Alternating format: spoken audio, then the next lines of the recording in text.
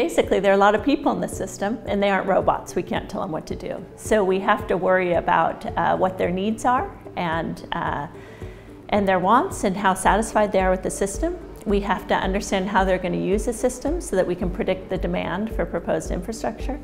And we have to figure out how to nudge their behavior into more sustainable and uh, behaviors that will be, lead to an effective transportation system. So behavioral modeling are the statistical methods we use to try to model behavior. We collect information on how people travel and we try to fit statistical models that explain that. And then once we have these models, we can do what if analysis. We can ask questions, you know, how will travel change if we put in a bus rapid transit or build a highway?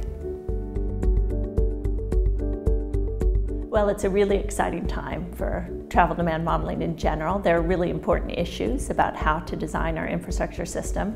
And there's also a big opportunity that we're in the world of big data. There are new data sources coming online all the time with smartphones and sensors and apps. And so um, I think bringing these things together, we're going to come up with even new and better tools and also cheaper to develop. Developing countries, one of the biggest issues historically has been lack of data and also resources to develop these models. But the good news in this new data world is that it's getting cheaper to collect high quality data. And I think that will help a lot in terms of bringing these methods to infrastructure planning.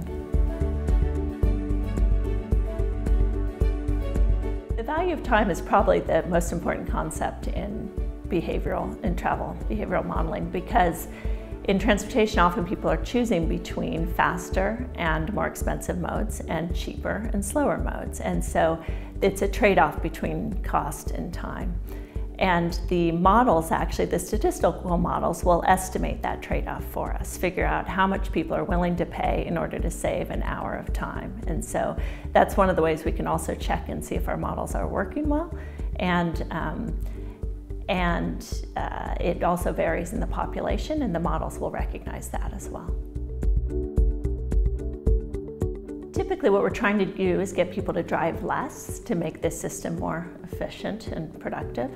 And um, there are a lot of reasons why people drive a lot. You know, there are uh, access to housing and jobs and also lack of transportation alternatives. So on the planning side, we can try to improve those alternatives to give people better alternatives to driving. And then on the behavior side, there are ways we can nudge behavior. So pricing is one of them. It's we can price modes more expensive, but that's um, that's difficult. It's hard for people to take, and it, there are equity issues. But there are also softer nudges we can do, just trying to get people to be more mindful about travel, recognize that when they travel, they use resources, time, and money, and um, calories. Also, there are health benefits, and also pollutants.